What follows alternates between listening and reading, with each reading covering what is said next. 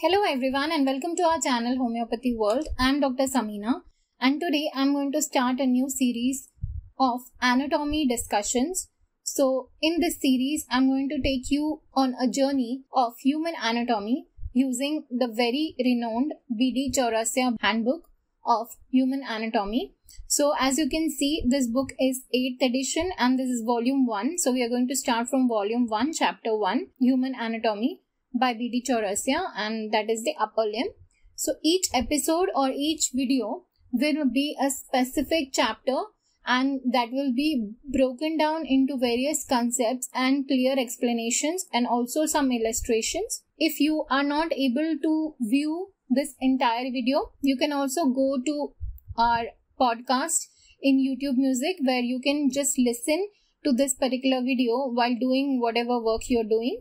So if you're too busy to watch, you can just listen to these podcasts. Also, at the end of this video, I'm going to give you notes for this chapter. So stay tuned to know how I'm going to give you these notes. So let's get started.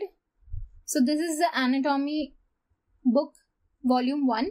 This is the 8th edition. So if you are referring some other edition, make sure that you go through all the changes in that edition.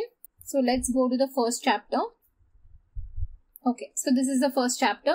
The first chapter is introduction. So for better viewing experience, I'm going to zoom out the pages so that you can view better. So in introduction, it is mentioned that as we all know that most of the animals are quadrupeds like cows and dogs and we humans are bipedal. So each limb is made up of three segments.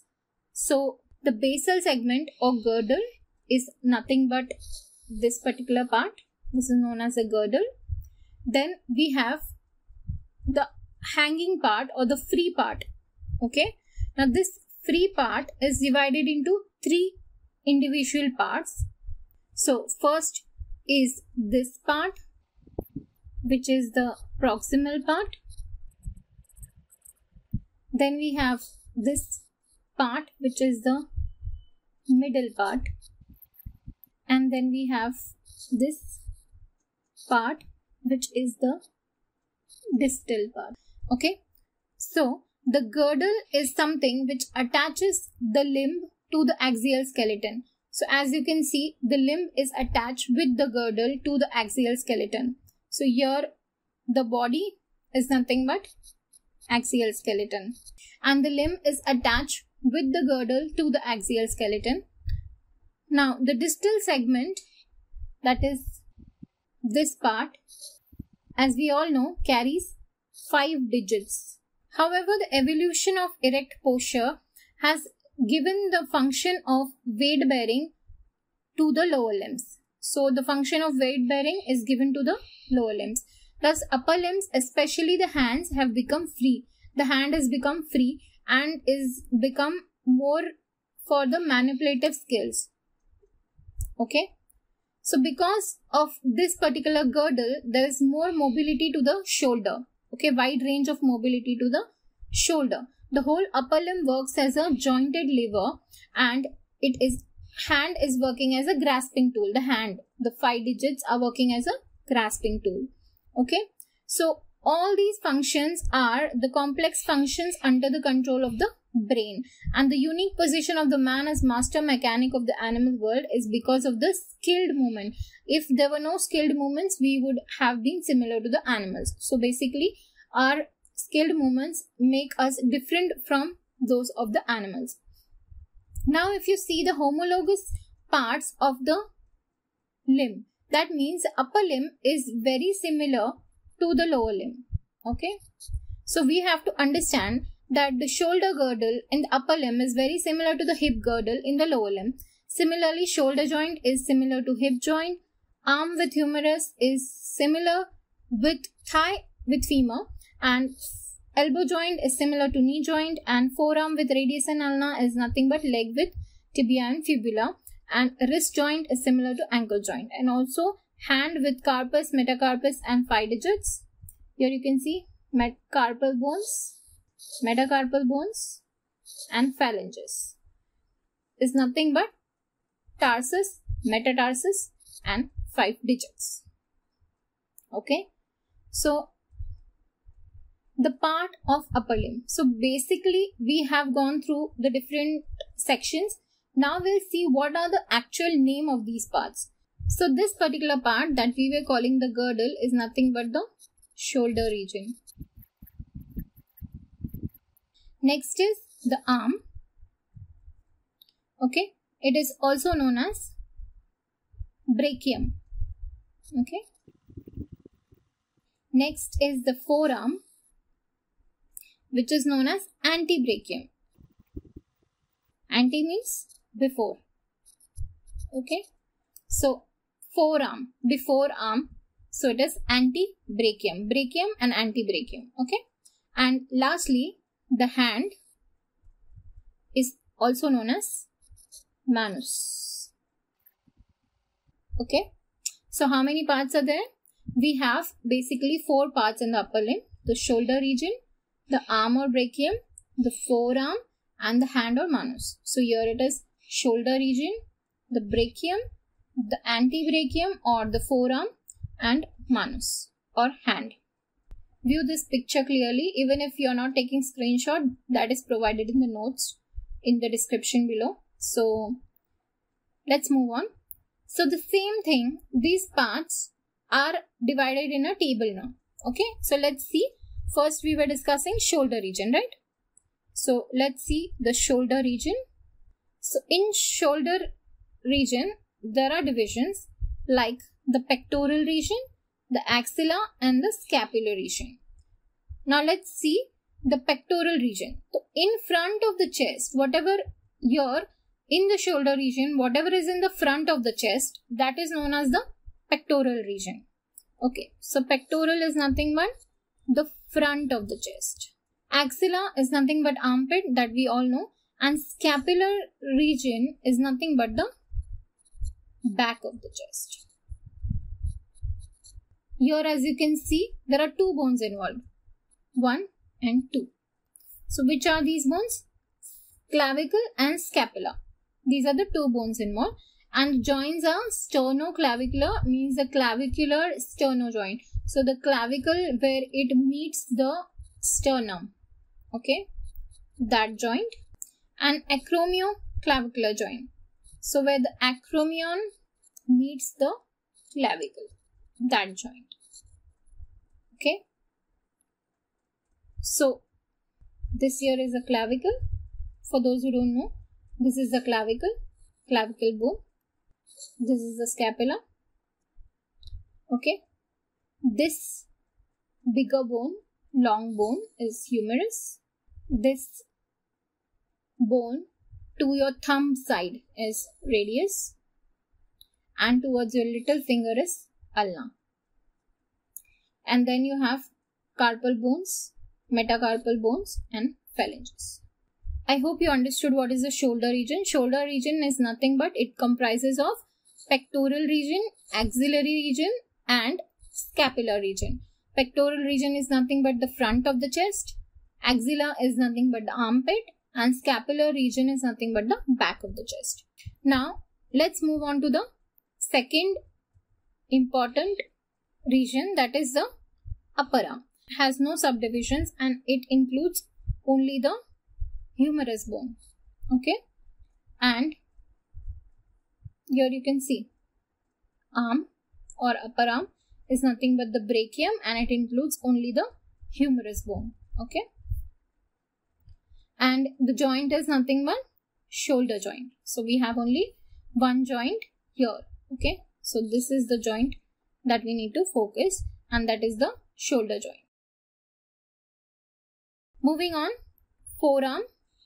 So forearm nothing but antebrachium and what do we have here?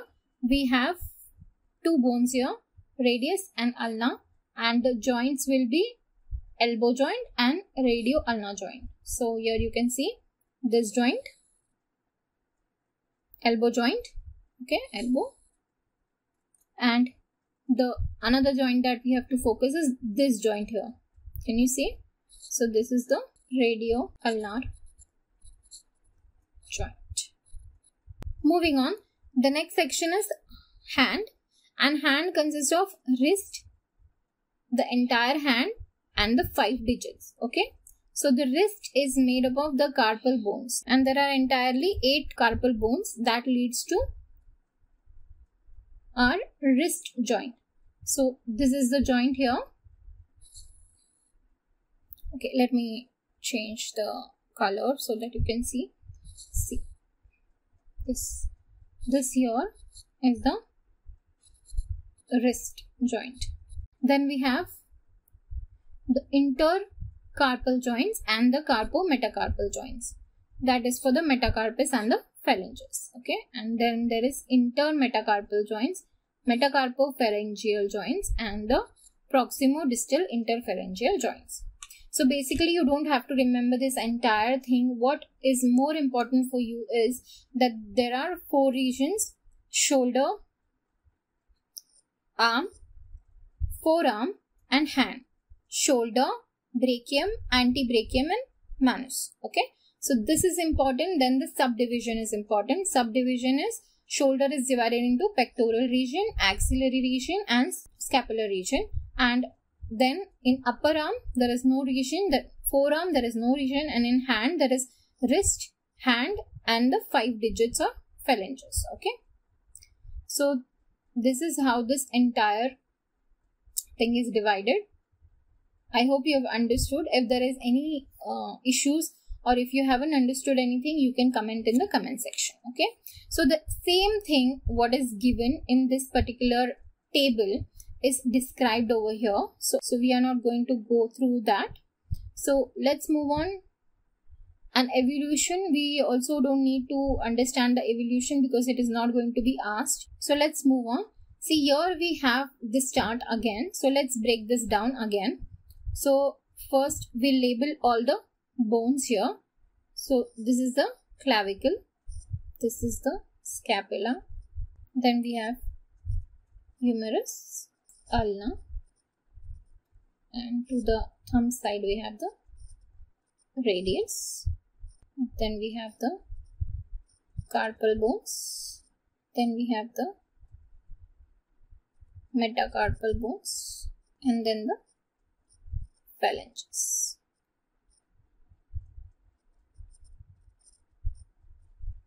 Okay. Now we have labeled this. Now let's move on and divide these into sections. So this particular region is called the shoulder region. So let's label this shoulder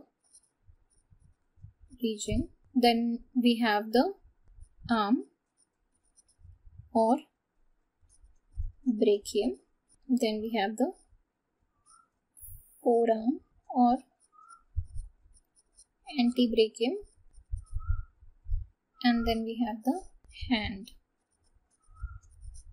Or manus which is divided into these sections okay? So i hope by this particular image it is understood what are the different sections. So here you can see there is a line of force transmission. So force when you hold anything in your hand, it first goes to your hand, then the force goes to the wrist, then to the radius, then to ulna, then to humerus, and then to shoulder joint, and then to scapula, and then to clavicle, and then to the sternum, and then the axial skeleton. So this is how the force works. The line of force is this. So you should know the line of force. Okay. Now moving on, this is something which is important how to study anatomy.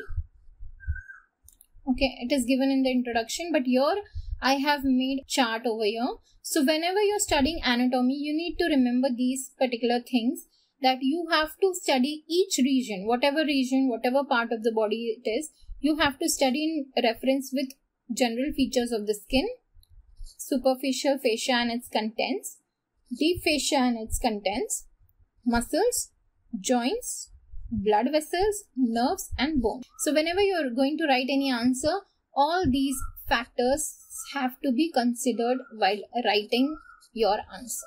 Okay. So this is very important and for practical purposes we'll need region and surface marking dissection purpose. So for practical purposes, we'll need region and surface marking that is for dissection purpose and otherwise we'll need all these things. Okay. So let's move on. See, let's see what are the frequently asked questions. Make a flowchart of force line transmission that we have understood. Tabulate the homologous part that also we have understood and enumerate the subdivisions of shoulder region. Joint related to the forearm. What are the joints related to forearm? So, shoulder region, arm and forearm. So, forearm may we have two joints. What are the two joints? First is the elbow joint, right? And another is the radio ulnar joint. Let's see if we are correct. So, in forearm, we have the elbow joint and the radio ulnar joint. Okay. So next, name the carpal bones in order. So this we haven't gone through yet. We haven't named the carpal bones in order. And then we have joints of the hand. So what are the joints of the hand? Hand is the fourth region, manus. Okay. So what are the joints of the hand? There are many joints of the hand. So let's see. Okay. So joints of the hand will be all these joints. So all these joints from here to here will be your answer. Joints of hand. So we have intercarpal joint that is between the carpal bones. Then we have carpo metacarpal joint that is between the carpus and the metacarpus bones. Then we have intermetacarpal joints that is between the metacarpal bones. Then we have metacarpophalangeal joints that is between the metacarpus and the phalanges and there is a proximal and distal interphalangeal joints. So we have intercarpal, intermetacarpal, interphalangeal. Then we have carpometacarpal, metacarpophalangeal. Okay. So these are the joints of the hand. Now they have also asked for all the bones, name of the bones. Okay. So name the carpal bones in order. So this one more question has asked, name the carpal bones in order. This particular question and all these other questions will be answered in the notes that are given in the description below. So in the description, you will find a link to the Google form. Open that Google form, enter all the required details and then you can download the notes for this chapter that is chapter number 1 and next is chapter number 2 which we will study in the next lecture. Thank you very much and keep watching our videos and also do subscribe to our YouTube music podcast in which you can hear the audio for this particular video. Without watching the video, you can just hear the audio and understand this chapter in detail. Okay, thank you.